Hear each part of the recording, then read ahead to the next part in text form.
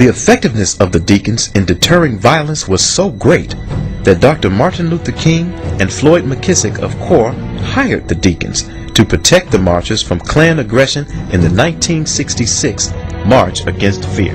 The very effect of armed resistance in the name of civil rights is what really casts a new enthusiasm into the civil rights movement at a critical time.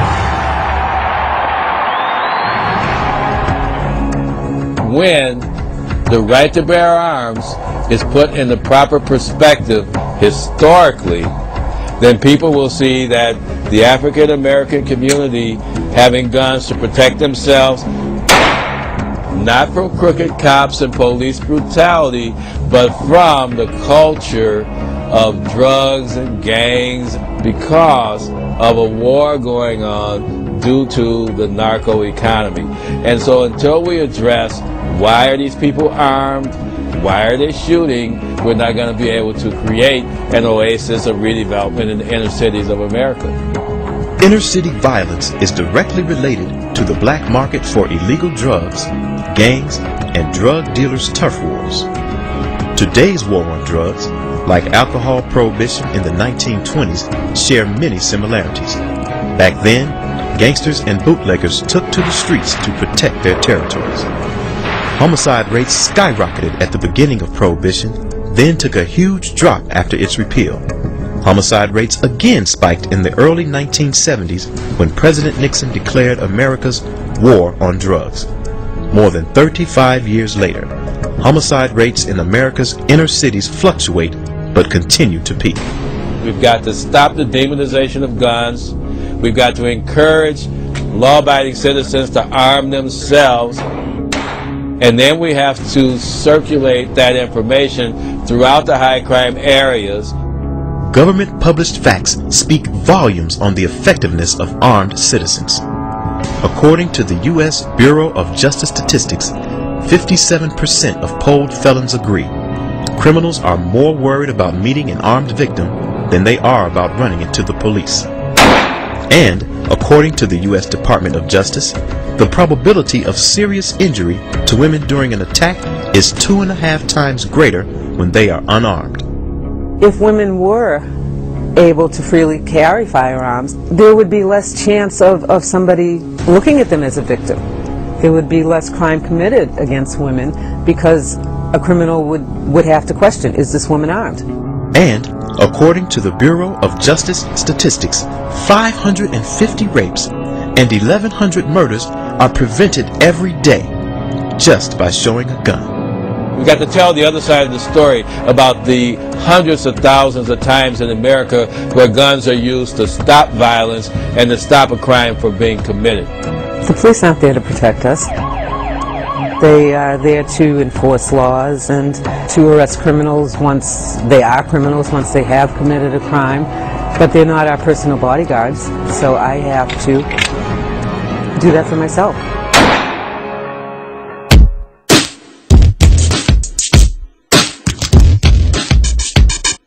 No matter how many gun control laws they put into effect, no matter how much they try to restrict it, even if they make it illegal for anybody to own guns, there's going to be a black market. The community does not get safer when the criminals are told there's no guns available on the part of law-abiding citizens people are going to have access to firearms, and the ones that are going to have them are going to be the criminals.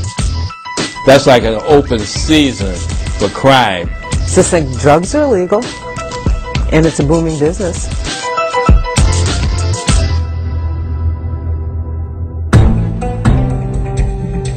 History has a habit of repeating itself.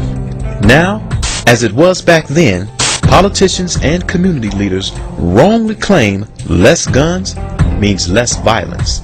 Now, as it was back then, politicians and community leaders wrongly misguide the public in believing that the police and not the community can best provide protection, even though the Supreme Court has publicly stated that state and local governments do not have an obligation to protect citizens from criminal harm.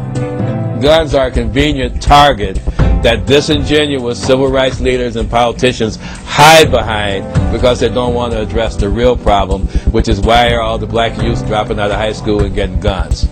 Gun control advocate Sarah Brady, wife of James Brady, whose name is on the 1993 Brady Bill Violence Protection Act, purchased her own son a high-powered rifle. I think they're misguided, and I think it's just, it's a hot issue. We can always get a bunch of politicians, well, here's the mayor, here's the alderman, here's the state rep, here's the state, well, here's the president of the senate. Here's, they'll always come out to a press conference where they can put on a shirt and a tie and insinuate that they're there to protect the children. It resonates with voters. It's something that's unquestionable in terms of its merit.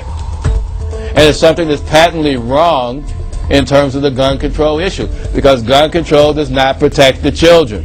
Fact is, a child up to the age of 14 is four times more likely to drown, four times more likely to die in a fire, and 13 times more likely to die in an auto collision than from a firearm accident. And that's a message that has to be driven home.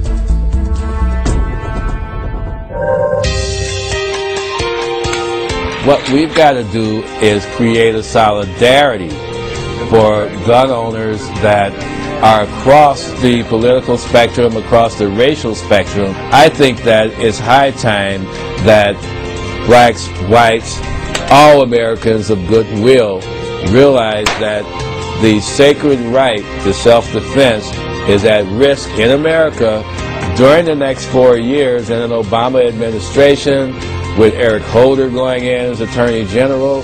Why? Not because they're bad people, but because their philosophy is such that drying up the availability of guns will create greater safety. So I think that what we're looking for is not to be found with gun control, but can only be found when citizens take it upon themselves to protect themselves and their property.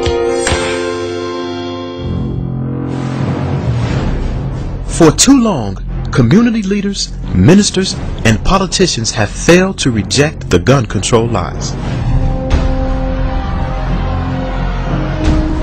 For too long, African Americans have lost control of our neighborhoods. For too long, African Americans have been denied the right to keep and bear arms. For too long, African Americans have been victims of criminals, drug dealers, and dangerous gun control policy.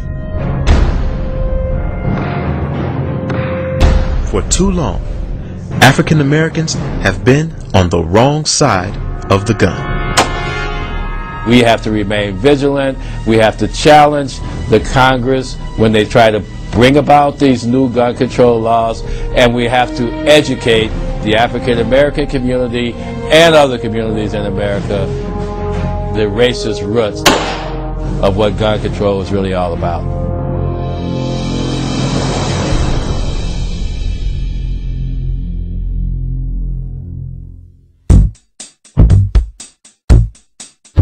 I believe that productions like this video provide a valuable tool for average everyday Americans to get the message out to their neighbors, to the people in the community, to the people at their church, to the people at their schools, and to the elected officials that set policy in their areas. I think it's essential that this video is downloaded, copied, emailed, and in every children-oriented social service group that has a strong lobby in the U.S. Congress, I think that we should inundate all of these entities with copies of this video and let them respond to the merit of it based on the facts. And I think that then we can create a forum nationwide where we can keep the pressure on the public policy setters to ensure that the Second Amendment remains an institution for the United States.